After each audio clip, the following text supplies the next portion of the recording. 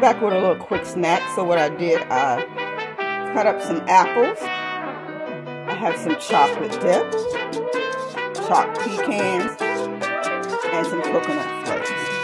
And what I did, I took the chocolate, I put it in the microwave for a couple of seconds, about 15 seconds, added the pecans and uh, coconut, and I'm going, all I'm going to do is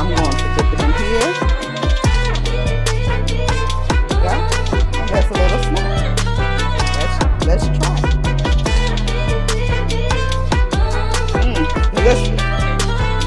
Quick snack. See you guys in the next video.